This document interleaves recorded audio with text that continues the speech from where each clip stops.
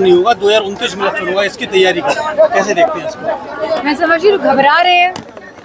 बुरी तरह घबरा रहे हैं तभी इस तरह की बातें कर रहे हैं। हर प्रचार में कह रहे हैं। जब लोकतंत्र में लिखा गया है कि हर पाँच साल में चुनाव होने हैं जब हमारे संविधान के द्वारा यह बात लिखी गई है तो आप लोकतंत्र और संविधान को मिटाने की बात कैसे कर सकते हैं? वो कह रहे हैं बेटी को भी उतार दिया प्रचार में। परिवार चुनाव प्रचार में उतरा था अब उनकी बेटी भी आ गई है। मैं समझती हूँ और ज़्यादा घबरा रहे हैं। तो उनको इस तरह की टिप्पणी नहीं करनी चाहिए हमारी तो यही राय रहेगी ये घबराहट किस बात कि, चुनौती है या कोई संघर्ष मान रहा है? अब वो आप सब लोग जानिए आकलन करिए। समाजवादी पार्टी पीडीओ के नारा के साथ चली थी। उन्होंने कहा है परिवार डेवलपमेंट अथॉरिटी ऑफ़ सैफई के नाम से पीडीओ को फुल फॉर्म दिया है। मैं समझती हूँ पीडीए का फुल फॉर्म है पिछड़ा दलित अल्पसंख्यक आधी आबादी अगड़े।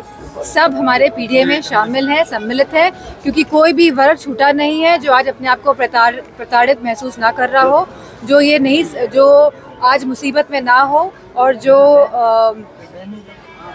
इस तरह के वातावरण और माहौल को समझ पा रहे हैं लोग कि किस तरह से ये लोग नहीं चाहते हैं कि लोकतंत्र भारत में, इंडिया में स्थापित रहे।